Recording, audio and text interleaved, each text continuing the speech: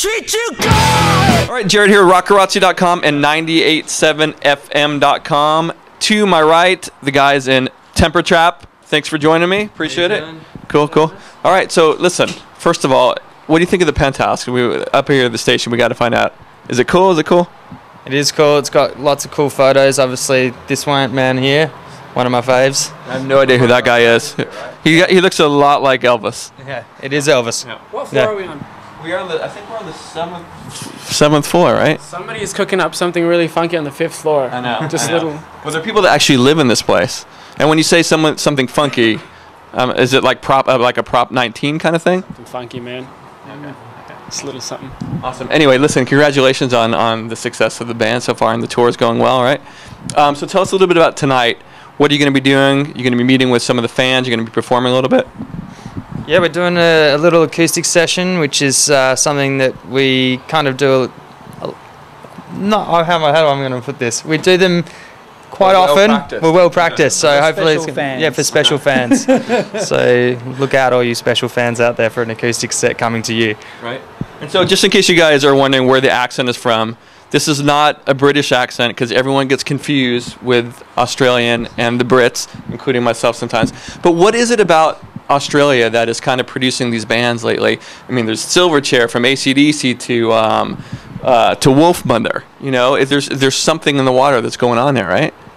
It's just got a really good um, kind of music scene in most of the major towns, and I think um, you know there are a lot of venues that people can play in, and and we kind of try and nurture that a lot. Um, and yeah, it just seems at the moment that you know Australian bands are getting a little bit more attention than they have in the last you know ten years or so. Mm-hmm. in describing your sound, um, because when I'm researching the band and, and going on to Wikipedia, I know some of the influences are Radiohead and U2. Is that accurate?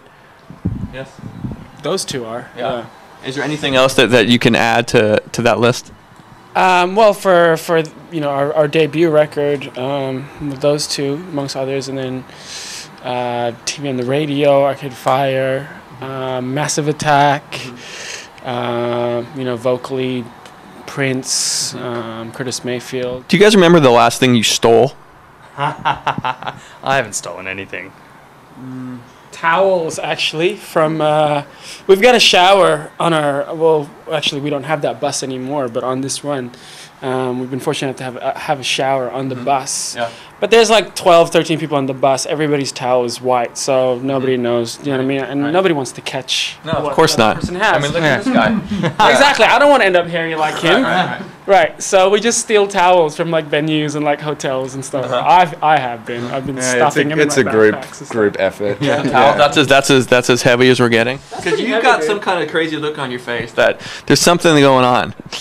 No, I- Yeah. what? Is there something? He's the sneak. I haven't, I haven't, Functions going? no, no, I, haven't, I, don't, I don't steal, man. Just You towels. don't, you don't steal anything either. Just towels. Okay. You don't want to. You, customs is gonna not allow you back in the country. I can see what's going on. Do you guys think about legacy at all? About how you want the band to be looked at or remembered, maybe five, ten years down the road? Does that come into your daily mindset at all? Uh, I mean, I can't speak for everyone, but I th- I'm guessing that I think we're just concentrating on we've all we've done is make one record and, and play some shows and, and to get a legacy there's a that's a long way down the path and so you just kind of like concentrate on we want to make a good second record and if we can get through that um, and just keep touring that'll be the main thing and we'll get to the end of that and think about record number three and the, if we're good the legacy will look after itself and if we're not then everyone will forget and it won't matter. Can't let you guys go without talking a little bit about Halloween because we're approaching.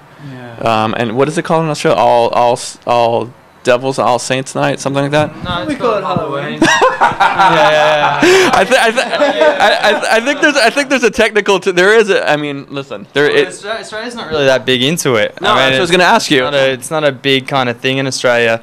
Um, maybe for little kids, but it's not like everybody gets involved. Not like here. Well, I did go into a Halloween shop today actually, and I was Okay. trying to, in my head, go, would it be possible to get the band down here to?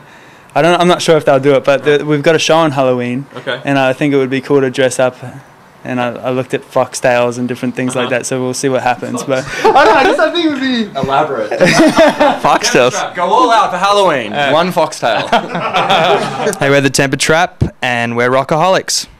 Well, I'll treat you good.